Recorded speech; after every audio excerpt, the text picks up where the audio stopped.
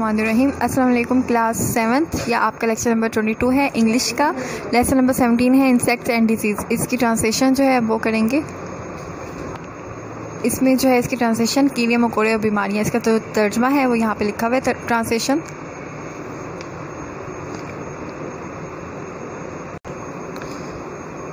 और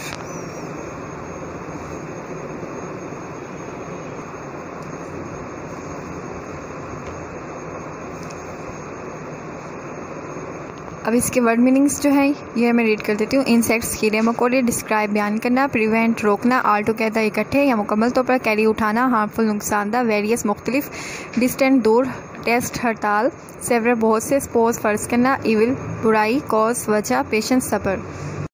अब जो ये है words for dictation insect disease scientist prevent illness trouble word sentences हैं.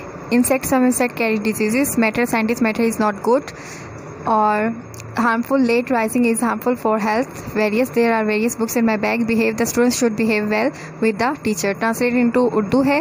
तो ये पैराग्राफ की ट्रांसलेशन है। ये अब आपको देखिएगा इसे।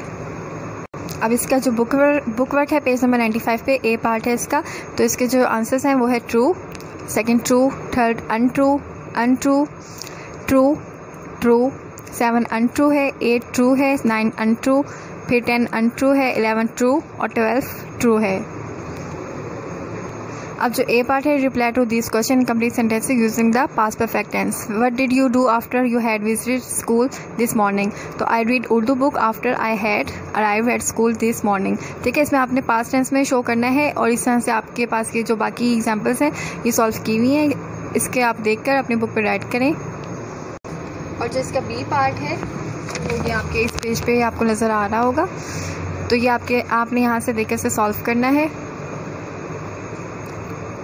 अब जो सी पार्ट है complete the sentence the past perfect tense of the verb given with just ठीक है? यहाँ पे आपको जो ब्लैंक है, इसे आपने फिल करना है। I the gates when they were close ठीक है? I had reach the gates इसमें पास में आप पास परफेक्ट की बात हो रही है तो इसलिए हैड और सेकेंड फॉर्म यूज़ होगी।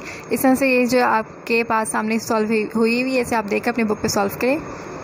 अब जो है इसका डी पार्ट है at the perfect continuous tense of the work given तो when the when he at last arrive I for 15 minutes wait तो हैड बीन वेटिंग है. इसमें कंटिन्यूस है तो इसलिए I N G form use हो रही है पास परफेक्ट है तो हैड बीन यूज़ हो रहा है. ठीक है? इस तरह से आपके सामने ये बाकी जो एट सेवन क्वेश्चन हैं ये आपने uh, इसके एग्जाम्पल्स शो हो रही है आपको. आपने इसे देखकर अच्छी तरह से याद करना है बुक पर रीड करना है. ठीक है? और आज का लेक्चर जो है यहाँ ख़त्म होता है. टेकर अल्लाह हाफिज़.